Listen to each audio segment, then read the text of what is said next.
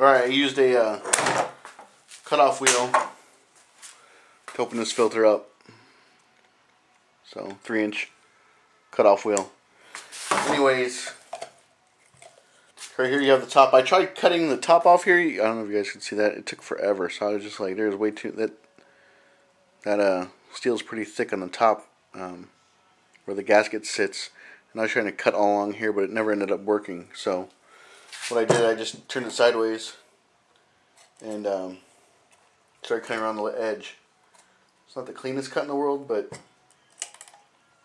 so as you pull this out, you pull the element out. There's the element.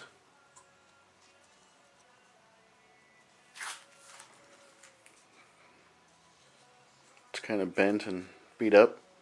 And what I wanted to show you and what people have been asking me is if this thing actually stopped particles from getting in. And I can honestly say yes. Adding magnets onto this filter is, have actually stopped particles from getting further into the engine. And let me see if I can show this to you. Right there, okay, there's the outside of the filter, okay, and there are the magnets. Right inside there, can you guys see that? There's an imprint impression of the magnets on the inside of the filter. And right right along on that side, you can see all the medical metal particles that have been built up in there. So the magnets did work. They did trap metal particles from floating around inside and getting back into your engine.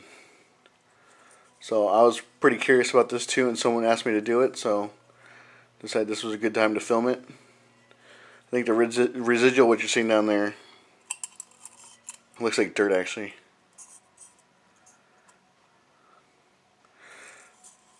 So bottom line, magnets on the outside of the oil filters work.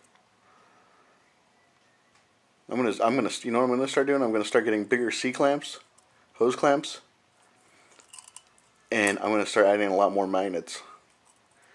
Cause I mean, two of these brick magnets are like I don't know, less than two bucks. I think it's less than four bucks. I don't know, but hey, if it stops from stops tiny metal particles from getting your engine, why not add it all the way around? So adding magnets to your oil filter 100% works. My dad always told me to do it. I guess he knew. I don't know if you ever cut one open. But it works, guys. Questions, comments, concerns? You can email me at bundysgarage at gmail.com. If you like these videos, if it's helped you out, please subscribe. Like always, I'll keep them rolling for you.